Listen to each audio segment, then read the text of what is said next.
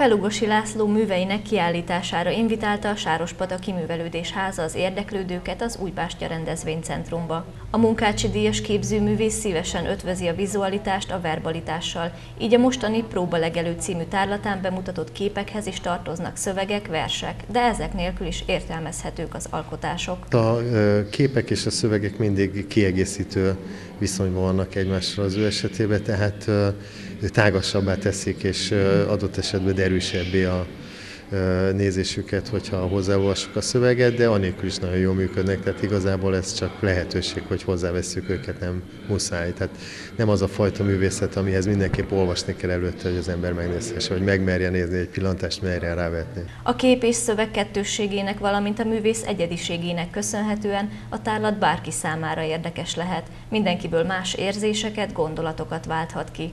A művelődés háza pedig fontos feladatának tartja, hogy színes választékot nyújtson a sárospataki közönségnek. Szerintem mindenki talál ezek között olyan képet, verssorokat, amely őt elgondolkoztatja, és hát az a törekvése, hogy a hétköznapokból egy kicsit figyeljünk más felé, figyeljünk önmagunkra is, a dolgaink fonákságaira is, ez mindenképpen jól átjön, úgy gondolom, ezen a kiállításon is.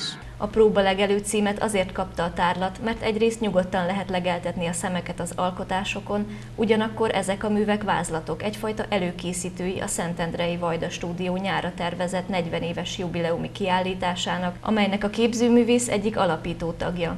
A képek fő témája éppen ezért a művészet maga. A művészet az egy igazi tevékenység, fizikális és szellemi tevékenység is, főleg a képzőművészet, ahol anyagot fordítunk át szellemi, a festékek különböző anyagok segítségével egy anyagot lelkesítünk át, hogy úgy mondjam, valamilyen fajta képi információval. A megnyitót egy egyedülálló alkotás is színesítette. A vendégek megnézhették a művész Nyarajködben a Miraculum Szájton című zenés videófilmjét is, amely felugosi közelmúltban megjelent lemezének mozgóképes átértelmezése, és a kiállításhoz hasonlóan nagy sikert aratott.